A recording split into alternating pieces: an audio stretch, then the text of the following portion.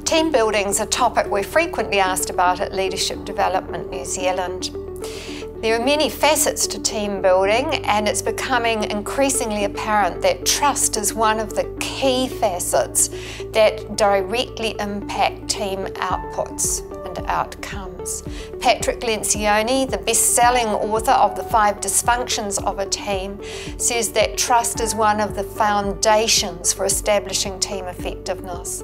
And this is quantified by the research of Stephen M. Covey, who clearly measured the advantage of having a high trust team.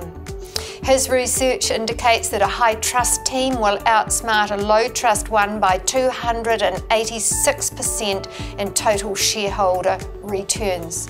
So it's well worth us taking a serious look at the impact of trust within a team, a department, or even our organisational culture. The Edelman Trust Barometer gives us 16 attributes that build trust, so we have plenty of research on which to work with organisations to build and increase trust, in turn to build team effectiveness, organisational effectiveness, and directly impact your bottom line.